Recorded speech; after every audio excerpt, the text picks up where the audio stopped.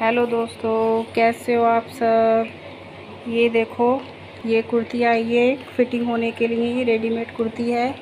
और ये कुछ इस तरीके का गला है, आपने देखी भी होंगी, इधर उधर टंगी भी।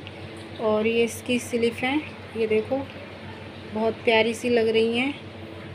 और बहुत सुंदर सी कुर्ती है, ये कॉटन की ही कुर्ती है, गर्मियों के हिसाब से ये अल्टेशन के लिए आई है। और लॉन्ग में है, इसका ये बॉर्डर भी है। और ये कुर्ती है एक। ये मैंने सिली है।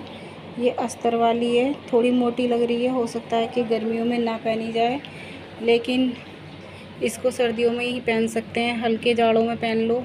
बहुत प्यारी बनी है। और इसका गोल गला बनाया है। पीछे से डीप गला है। यहाँ तक आ रहा है। और ये पौन आस्तीन की बनी है। और ये देखो, पूरी कुर्ती बन के इस तरीके से लग रही है। बहुत प्यारी सी।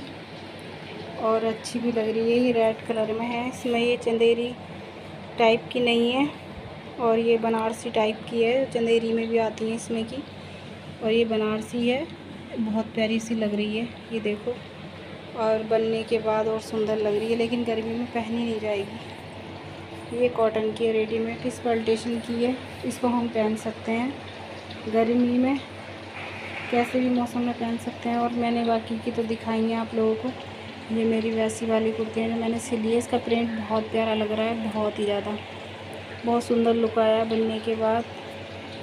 अब देखती हूँ इसका कपड़ा कैसे चलता है, क्योंकि बाज़ार में कुछ कपड़ा सस्ते उसमें आता है तो थोड़ा वो अच्छा नहीं लगता है।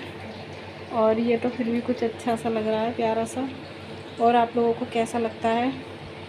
ये मेरा काम और मेरी सिलाई और बताना मुझे और मेरी वीडियो को लाइक करना और मेरे चैनल को सब्सक्राइब करना और बताना मुझे कि कैसी लगती हैं आप लोगों को मेरी सिलाई और मेरी वीडियो। Thank you, bye.